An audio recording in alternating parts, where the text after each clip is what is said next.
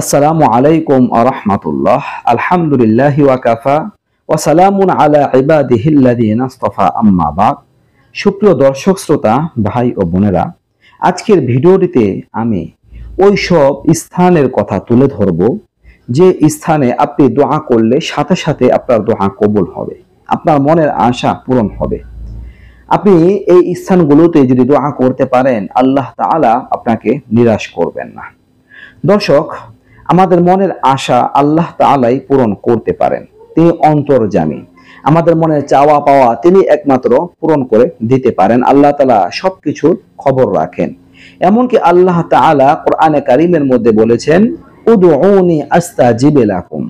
তোমরা আমাকে ডাকো, আমি তোমাদের ডাকে সাড়া দেব। আল্লাহ তাআলা বান্দার এই গলার যে রগ আছে শ্বাসরগ কণ্ঠনালী, এর চাইতেও আরও বেশি কাছে থাকেন সুবহান আল্লাহ তো যদি আমরা এই স্থানগুলোতে আল্লাহকে ডাকতে পারি, আমাদের যত চাওয়া পাওয়া আছে সেগুলো শেয়ার করতে পারি, তিনি আমাদের তা দান করবেন, নিরাশ করবেন না।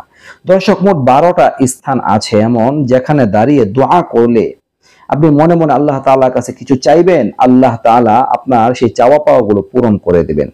দর্শক, সেই স্থানগুলোর এক নাম্বার স্থান হচ্ছে মাতাফের মধ্যে দোয়া করলে। মাতাফ মানে তাওয়াফ করা জায়গা, কাবা ঘরের পাশ দিয়ে যেখানে মানুষ তাওয়াফ করে হাজি সাহেবরা, ওই মাতাফে সেখানে যদি কোনো ব্যক্তি দোয়া করে, কোনো কিছু আল্লাহ তাআলার কাছে চায়, আল্লাহ তাআলা তা দান করেন।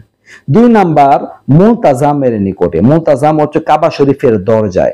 কাবা শরীফের দরজার কাছে সেখানে গিয়ে যদি কোনো ব্যক্তি আল্লাহ তাআলার কাছে কিছু চায়, আল্লাহ তাআলা সে চাওয়া পূরণ করেন।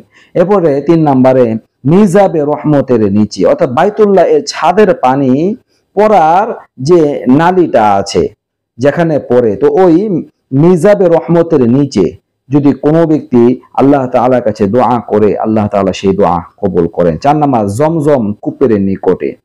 এই কূপের কাছে গিয়েও যদি কোনো ব্যক্তি কোনো কিছু চায়, আল্লাহ তালা ফিরিয়ে দেন না, মনের আশা পূরণ করেন। পাঁচ, বাইতুল্লাহর ভিতরে কাবা শরীফের ভিতরে দোয়া করলে আল্লাহ তালা কবুল করেন। ছয়, সাফা পাহাড়ের উপর, সাফা মারোয়া যেখানে হাজি সাহেবরা সাই করেন, তো সাফা পাহাড়ের উপর যদি কোনো হাজি সাহেব কোনো ব্যক্তি যদি দোয়া করে, আল্লাহ পূরণ করে মারোয়া পাহাড়ের উপর সেখানে আল্লাহ তালা দোয়া কবুল করেন। এগুলো আল্লাহ তালার খুব পছন্দনীয় জায়গা। খুবই আল্লাহ তালার কাছে গ্রহণযোগ্য স্থান। এরপরে সাফা মারোয়ায় এই দৌড়ানোর জায়গায়, যেখানে দৌড়ায় হাজি সাহেবরা, ওই জায়গায় কোনো ব্যক্তি যদি দোয়া করেন, আল্লাহ তালা ফিরিয়ে দেন না। এরপরে নয় নাম্বারে আরাফার ময়দানে যা কিছু এই বান্দারা চাইবে, আল্লাহ তালা তা দান করেন।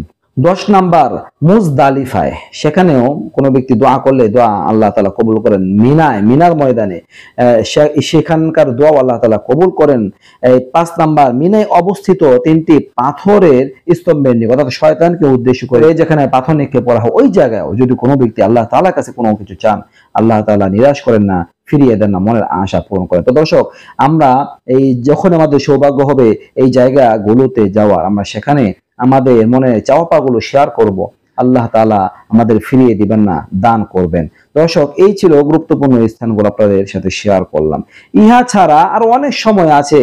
এই আসলে যদি আমরা আল্লাহ তাআলার কাছে দোয়া করি, এটা আমাদের নিজের ঘরের মধ্যে থেকেও যদি দোয়া করি, যদি মসজিদে বসে দোয়া করি, যেখানে বসে দোয়া করি, আল্লাহ তাআলা বান্দার অনেক কাছে থাকেন।